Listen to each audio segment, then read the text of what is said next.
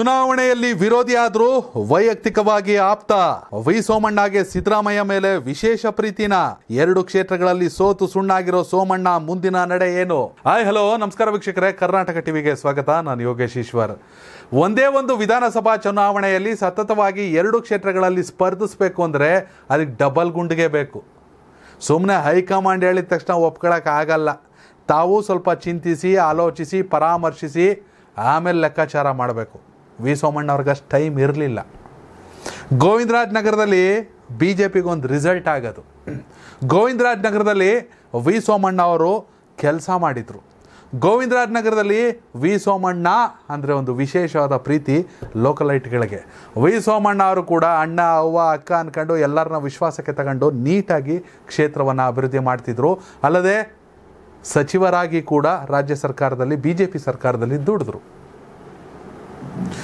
ಆದರೆ ಎರಡು ಸಾವಿರದ ಇಪ್ಪತ್ತ್ಮೂರರ ಅಂದರೆ ಇತ್ತೀಚೆಗೆ ಮುಗಿದಂಥ ವಿಧಾನಸಭಾ ಚುನಾವಣೆಯಲ್ಲಿ ಅನವಶ್ಯಕವಾಗಿ ವಿ ಸೋಮಣ್ಣ ಅವ್ರನ್ನ ವರುಣ ಮತ್ತು ಚಾಮರಾಜನಗರಕ್ಕೆ ಕರ್ಕೊಂಡೋಗಿ ಬಲಿ ಹಾಕ್ಬಿಟ್ರು.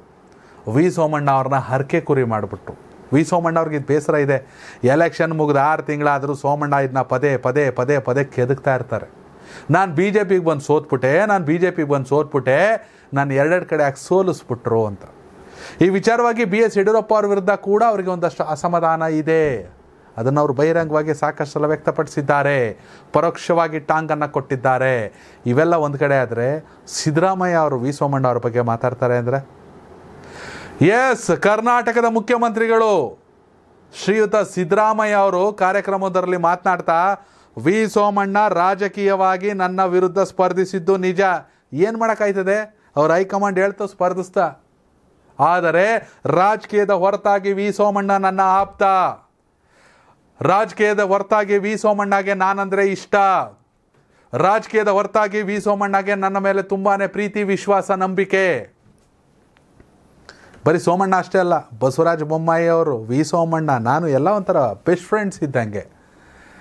ರಾಜಕೀಯವಾಗಿ ತತ್ವ ಸಿದ್ಧಾಂತ ಅಂತ ಬೇರೆ ಬೇರೆ ಪಾರ್ಟಿಲಿ ಇದ್ದೀವಿ ನಿಜ.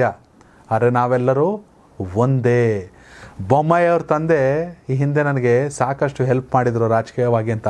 ಕೃತಜ್ಞತಾ ಮನೋಭಾವ ಉಳ್ಳವನು ಯಾವತ್ತೂ ಕೂಡ ಅತಿ ದೊಡ್ಡ ವ್ಯಕ್ತಿಯಾಗಿ ಬೆಳಿತಾನೆ. ಹತ್ತಿದ್ದ ಮೆಟ್ಲನ್ನು ಮರಿಬಾರದು. ಸಿದ್ದರಾಮಯ್ಯವ್ರಿಗೆ ಆ ಕೃತಜ್ಞತೆ ಇದೆ. ಹಂಗನ್ಬಿಟ್ಟು ಜೆ ಡಿ ಎಸ್ ಬಗ್ಗೆ ಯಾಕೆ ಕೋಪ ಅಂತ ಕೇಳಬೇಡಿ. ಅದಕ್ಕೆ ಬೇರೆ ಬೇರೆ ವಿಚಾರಗಳೇ ಇದ್ದಾವೆ. ಹೀಗಾಗಿ ಬಸವರಾಜ ಬೊಮ್ಮಾಯಿ ಅವ್ರು ಬಂದ ತಂದೆ ಮಾಜಿ ಮುಖ್ಯಮಂತ್ರಿಗಳು ಎಸ್ ಆರ್ ಬೊಮ್ಮಾಯಿ ಅವರು ನನಗೆ ರಾಜಕೀಯವಾಗಿ ಹೆಲ್ಪೇ ಮಾಡಿದರು ಒಂದು ಕಡೆ. ಮತ್ತೊಂದು ಕಡೆ ವಿ ಸೋಮಣ್ಣ ನಾನು ಆಪ್ತರ. ವಿ ಸೋಮಣ್ಣಗೆ ನನ್ನ ಮೇಲೆ ತುಂಬ ವಿಶೇಷ ಗೌರವ ಅಂತ ಈ ಸಂದರ್ಭದಲ್ಲಿ ಹೇಳೋದನ್ನು ನೋಡಿದ್ದರೆ ವಿ ಸೋಮಣ್ಣ ಜೊತೆ ಅದಾಗಲೇ ಒಂದು ಸುತ್ತಿನ ಮಾತುಕತೆ ನಡೆದಿದ್ಯಾ? ಸತತವಾಗಿ ಎರಡು ಕ್ಷೇತ್ರಗಳಲ್ಲಿ ಸೋತರೂ ಕೂಡ ವಿ ಸೋಮಣ್ಣ ನನಗೆ ರಾಜ್ಯಾಧ್ಯಕ್ಷ ಸ್ಥಾನವನ್ನು ಕೊಡಿ. ಜೊತೆಗೆ ನೂರು ದಿನದ ಟಾರ್ಗೆಟ್ ಕೊಡಿ. ನಾನು ಕೆಪಾಸಿಟಿ ಪ್ರೂವ್ ಮಾಡಿ ತೋರಿಸ್ತೀನಿ ಅಂತ ಹೇಳಿದರು. ಹೈಕಮಾಂಡ್ ಕೊಡಲಿಲ್ಲ. ವಿಜಯೇಂದ್ರನಂಥ ಯುವಕರ ಜೊತೆ ಹೊರದು ಅಂತ ಹೊಂದ್ಕೊಂಡು ಕೆಲಸ ಮಾಡ್ಕೊಂಡು ಹೋಗೋದು ಕಷ್ಟ ಅನ್ನೋ ಮಾತುಗಳನ್ನ ವಿ ಸೋಮಣ್ಣ ಅವ್ರ ಬಯಲು ಬತ್ತಿದ್ರೆ ಈ ಕಡೆಯಿಂದ ಈ ಕಡೆಯಿಂದ ಸಿದ್ದರಾಮಯ್ಯವ್ರು ಲೈಟಾಗಿ ಗಾಳಾಗ್ತವ್ರೆ ಅನಿಸುತ್ತೆ. ಬೇಕು. ವಿ ಸೋಮಣ್ಣ ಬಂದರೆ ಕಾಂಗ್ರೆಸ್ಗೆ ಅತಿ ದೊಡ್ಡ ಶಕ್ತಿ ಅನ್ನೋದ್ರಲ್ಲಿ ಯಾವುದೇ ಅನುಮಾನ ಇಲ್ಲ. ಒಂದು ಲೋಕಸಭೆ ಟಿಕೆಟ್ ಫಿಕ್ಸ್ ಅನ್ನೋದ್ರಲ್ಲಿ ಯಾವುದೇ ಅನುಮಾನ ಇಲ್ಲ. ಹೀಗಾಗಿ ವಿ ಸೋಮಣ್ಣ ಬಗ್ಗೆ ತುಂಬಾ ಪ್ರೀತಿಯಿಂದ ಒಲವಿನಿಂದ ಸಿದ್ದರಾಮಯ್ಯ ಅವರು ಮಾತಾಡಿದ್ದಾರೆ. ವೀಕ್ಷಕರು, ಸೋಮಣ್ಣ ಅವ್ರ ನಿರ್ಧಾರ ಏನಾಗಿರುತ್ತೆ? ಬಿ ಜೆ ಪಿಲೇ ಎಲ್ಲ ಸಹಿಸ್ಕೊಂಡು ಮುಂದುವರಿತಾರ? ಅದು ಯಾಕೆಂದರೆ ಪಕ್ಷದಿಂದ ಸೋಮಣ್ಣ ಅಲ್ಲ ರೀ ಬಿ ಜೆ ಪಿಯಿಂದ ಸೋಮಣ್ಣ ಸೋಮಣ್ಣಗೊಂದು ಶಕ್ತಿ, ಸೋಮಣ್ಣ ಬಂದಿತ್ತು ಸಚಿವ ಸ್ಥಾನ ಕೊಟ್ಟರು ಅವೆಲ್ಲ ಸೆಕೆಂಡ್ರಿ ಆಯಿತಾ?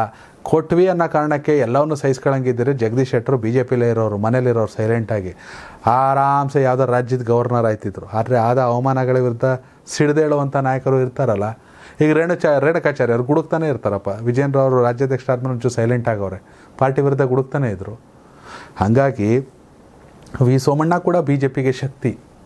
ಇಂಥ ಸಂದರ್ಭದಲ್ಲಿ ವಿ ಸೋಮಣ್ಣ ಬೇಸರಗೊಂಡ ನಿರ್ಧಾರ ಏನಾಗ್ಬೋದು? ಸಿದ್ದರಾಮಯ್ಯವರ ಮಾತಿನ ಅರ್ಥವೇನು?